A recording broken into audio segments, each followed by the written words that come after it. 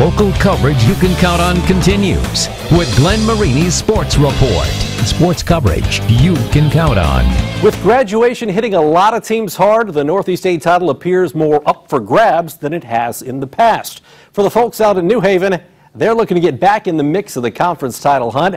And with that, we check in with Jimmy Lynn and the Bulldogs. It's your 2020 Highlight Zone season preview. Ooh, 32.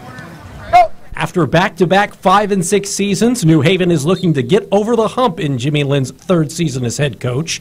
That starts on defense, where the Bulldogs return just three starters, but are strong in the middle. Our two linebackers, in my opinion, could be two of the best linebackers in, in the whole area with Isaac Carswell and DeAndre Wright. And they're going to be just huge leaders for us and uh, really can direct our defense where they want to be. Quantry Sanders, he's going to be stepping in at safety for us. Uh, Kamari Compton playing corner for us. Uh, Jamarian Hagler going to be taking a big role at outside linebacker as well. Uh, we hard nosed. We like to hit. You know, we love contact. We love getting physical, and we just like to hit. On the offensive side of the football, New Haven returns a ton of experience in 2020, and that includes at the quarterback position. Jakar Williams last year was a sophomore, throwing for 1,767 yards, and that includes 19 touchdown passes with five rushing TDs as well. He'll play behind an offensive line that returns all five starters in 2020. I can put a lot on those guys. I know they're going to protect me, protect our running back, and do good for us. I learned a lot last year, and I added to my game. I added a little more quickness, a little more arm strength, throw the ball a little farther.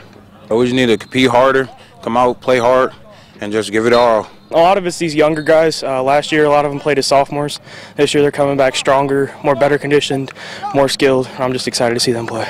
Uh, to tell you the truth, I was extremely excited just the, the, level of fitness when they came off that long break. I was really anticipating uh, really having to start from square one, and uh, they did a lot of good, hard work during the offseason. Our, our kids were ready to go.